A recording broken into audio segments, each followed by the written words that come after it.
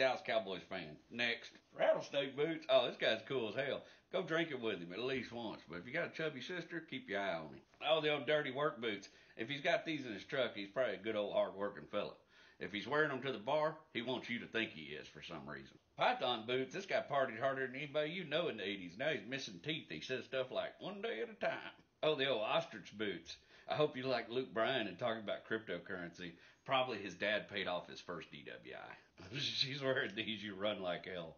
You're going to spend the rest of your life being Pinterested to death. Run.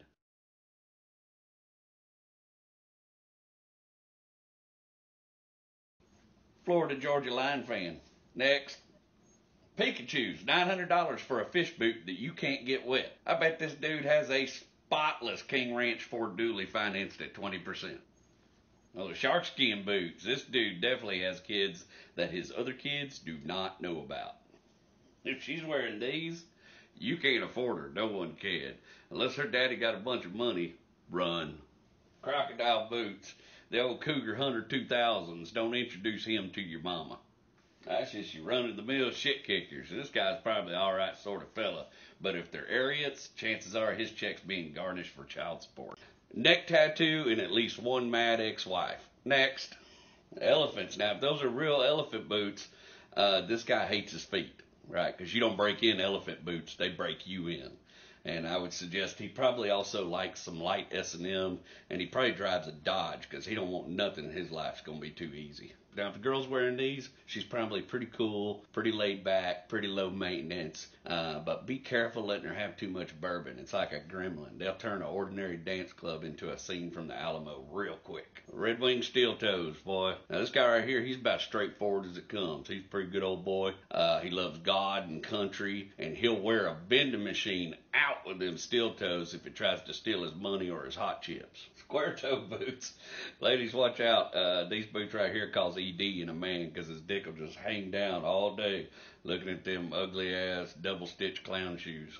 Works at Dollar General, can kick your ass, and you better not talk about her daddy even if he is a drunk. Next, these are tricky. She either smokes Winston's and likes putting her feet up on the dash of her Kia that she lets her boyfriend drive while his car is busy not existing, or she rescues cats that don't need it. Oh, this one's easy. She gets nostalgic when she gets drunk and starts singing Strawberry Wine and looking at old pictures. The plain Roper girl. Pretty good girl. Probably won't do butt stuff, but will take good care of hers or your kids. I, I can't imagine anybody wearing these, but if she does, I just assume she spends a lot of time on the next door app or on the phone reporting her neighbors to the police. Oh, this lady went to UT or someplace like that. Hates the patriarchy, but loves sushi and getting her nails. Done. Loves Mandy Moore movies. Hates her ex-husband. Thinks spending way too much time decorating one cupcake makes her interesting. Holy hell. Okay.